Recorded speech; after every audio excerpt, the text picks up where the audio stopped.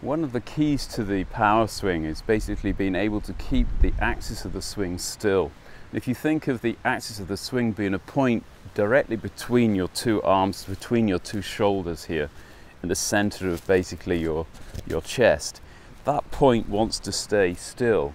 Even if you've got the feeling of your bowing, the distance between this point and the ground will stay about the same.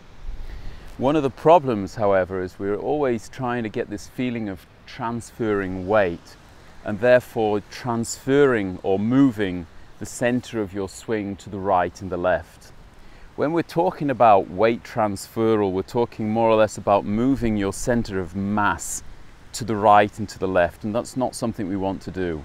On the contrary, I want to keep this positioned over the ball, over the center of my stance, and at the same time, by moving the shoulder down, I still get a feeling of building more pressure upon the right instep and not the feeling of kind of moving out over the right foot or even worse onto the outside of the right foot.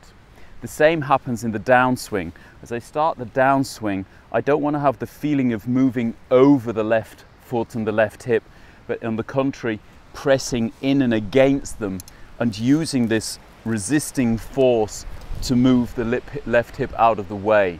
So we're not talking anymore about transferring weight, we're talking about transferring pressure. And by transferring the pressure, you will get the rotation that's necessary without moving your center of gravity right and left of the ball.